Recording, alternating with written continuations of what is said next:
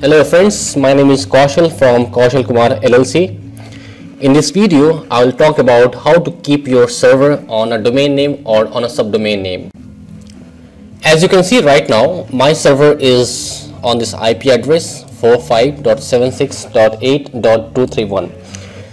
It's a good idea to keep your server on a domain name or on a subdomain name because it helps you with your branding. Secondly, it's very easy to remember. The trick is you have to point the A record of the domain name or subdomain name to your server IP address. I use cPanel to manage my domain name. So I'll log into cPanel to create a subdomain and point it to my server IP address. First of all, I will log into my cPanel. Find DNS, click on DNS Zone Editor. Click on Add a record. Um, you can keep your uh, desired subdomain name. For this tutorial, I will keep phones.kaushalkumar.com the address is the server IP address so let's copy my server IP address and paste it.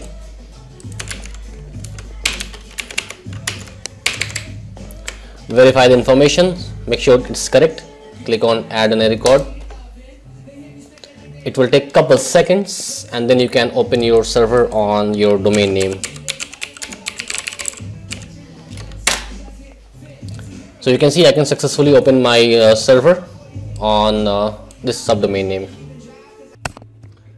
can also use this subdomain name to register your soft phones let me show you I'm going to my uh, SIP account settings and and you can see I have put phones.kaushalkumar.com instead of the IP address. That's all. For more tutorials on VICIdial, you can always go to our website kaushalkumar.com and click on tutorials.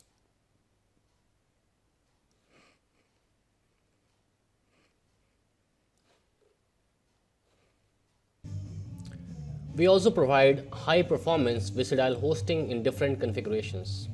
You can choose from one of the 15 server locations. All our servers use pure SSD for unmatched performance and comes with latest version of VICIdial pre-installed. We generally deliver servers in less than an hour.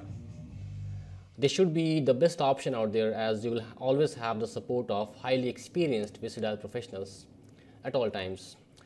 I'll leave the link in the description below. And yes, you can hire us for your VICIdial configuration as well as premium support anytime. So let's meet at the next video.